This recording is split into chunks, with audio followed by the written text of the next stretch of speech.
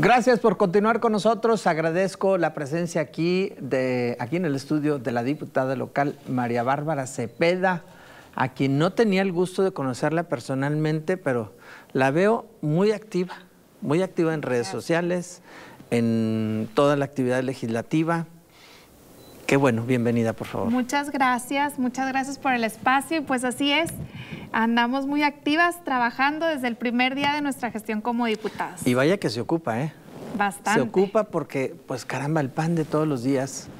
Y qué bueno que usted esté enfocada precisamente en el tema del trabajo social de la comunidad aquí en Saltillo y en general todo el estado.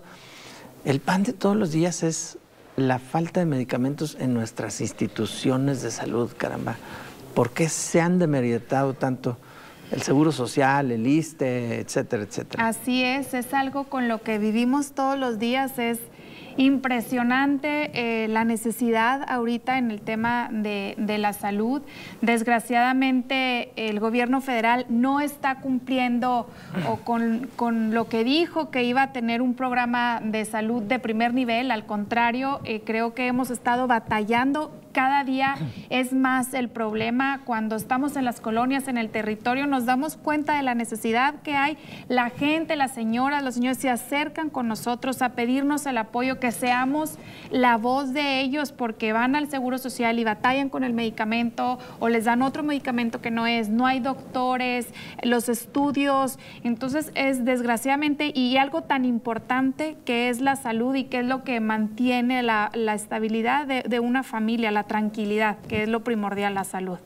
Diputada, nosotros hicimos un ejercicio periodístico recientemente, fin de semana pasado, que le dimos un seguimiento durante los días subsecuentes y descubrimos, pues a lo mejor no el hilo negro, porque pues, ya todo el mundo lo sabemos, pero una persona, si no es que una familia, se gasta entre 600, 700, 800, 900, 1000, 2000, 3000, 5000, hasta 10 mil pesos una en comprar medicamentos en una farmacia, medicamentos y luego el estudio, y luego el estudio, y luego este análisis y todo, para poder llevarlo al seguro social y que me puedan atender, caray. Y luego llegas al seguro social y, híjole, fíjese que cree, no hay doctor, venga la siguiente semana, quédese con el dolor y tómese este medicamento que le, igual y le hace bien y venga la siguiente semana y vemos a ver si hay medicamento, hay doctor.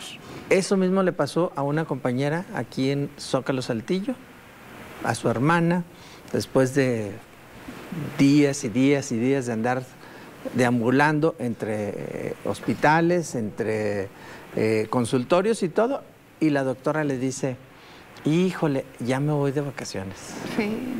Así, así es. Eso es el pan de todos los días. Así están y, y, la gente eh, nos lo dice, ayúdenos de, alguna u otra manera porque es, es, es, mucha la necesidad que hay en el tema de, de salud. Son medicamentos que también son muy caros. Teníamos el seguro popular deciden eliminar el seguro popular, y, pero tampoco nos dan una solución a este tema.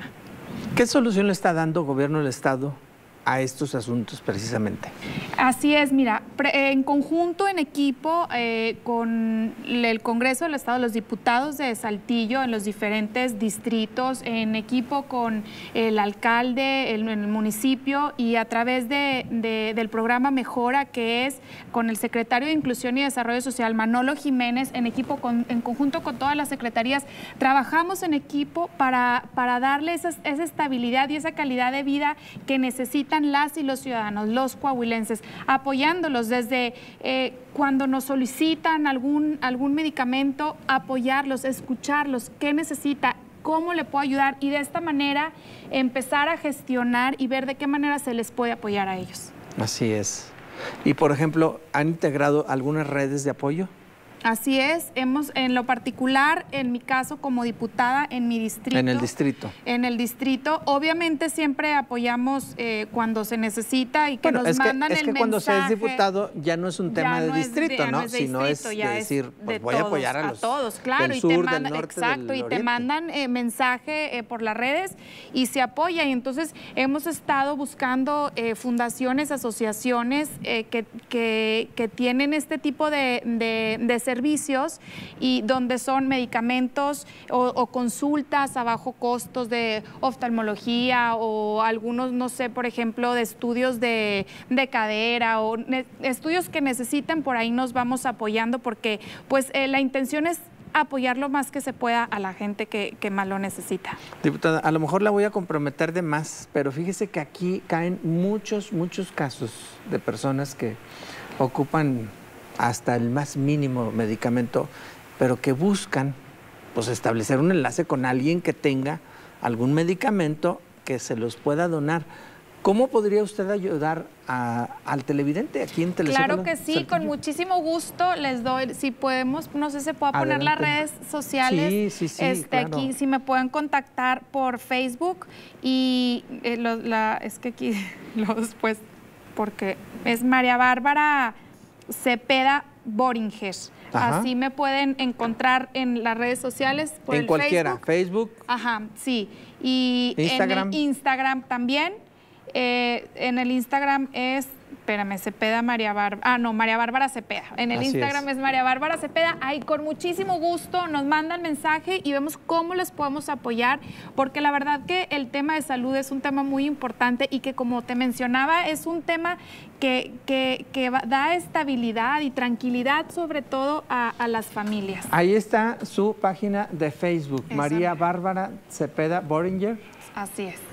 Esa es su página de Facebook. A través de esta página la pueden a usted contactar, digo, por alguien que pudiera necesitar, no sé, establecer, o sea, que usted pueda puentear para alguien que necesite alguna, algún estudio, algún medicamento. Claro. Porque luego también nosotros servimos también como puente.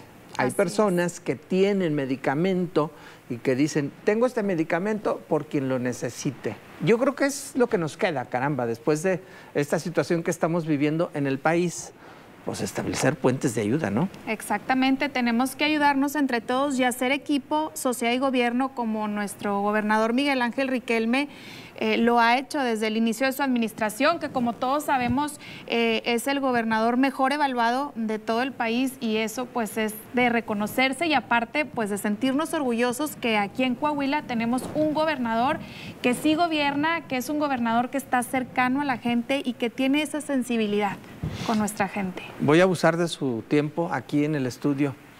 La seguridad. ¿Qué está pasando en este país? Digo, ayer explotó Jalisco, ¿eh? Tristemente. Narcobloqueos que se extendieron hasta Guanajuato. ¿A dónde vamos a llegar? Así es.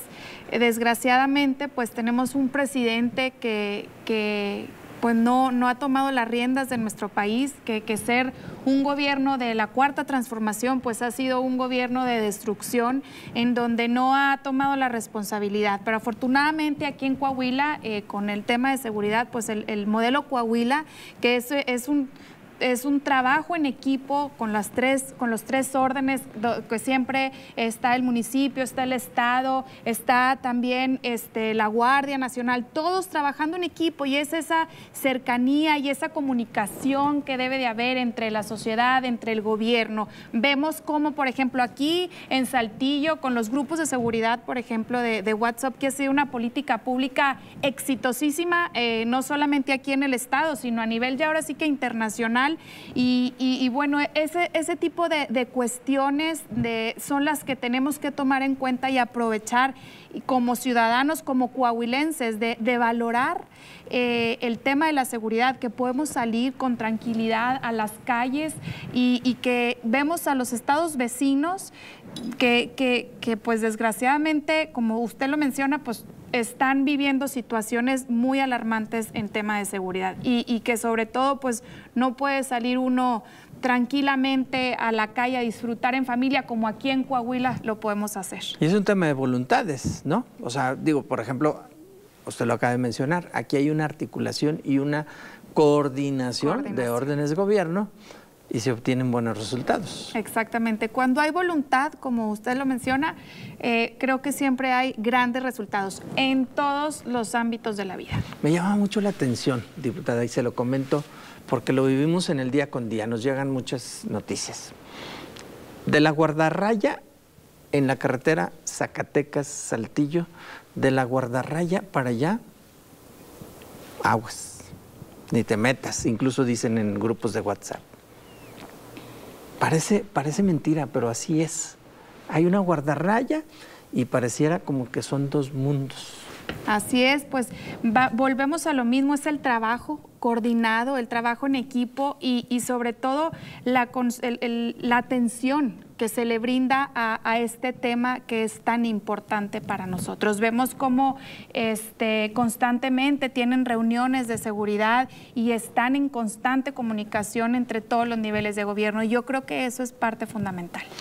Diputada, algo más que nos quiera compartir. Yo quiero agradecerle mucho que nos haya acompañado en esta noche. No sé si usted tenga algún otro tema. No, pues solamente agradecerles muchísimo el espacio y decirles que estamos a, su disposición a, trabajar en equipo desde el Congreso, que sepan que, las y los diputados del PRI trabajamos en equipo con la ciudadanía y que desde el Congreso alzamos la voz por las, las y los intereses de cada uno de, de los coahuilenses. Le vamos a tomar la palabra para que usted establezca ese puente entre los que necesitan un medicamento y hay mucha gente que tiene medicamento que le puede facilitar a esas personas. Claro que, sí, con muchísimo gusto estamos para servirles y, lo seguiremos haciendo con pasión y corazón como lo hemos venido haciendo desde el primer día de nuestra Bueno, ahí le vamos a estar mandando casos, casos que nos llegan aquí en Telezócalo Nocturno. Claro que sí, muchísimas gracias por el espacio y un saludo a todos. Gracias por estar con nosotros.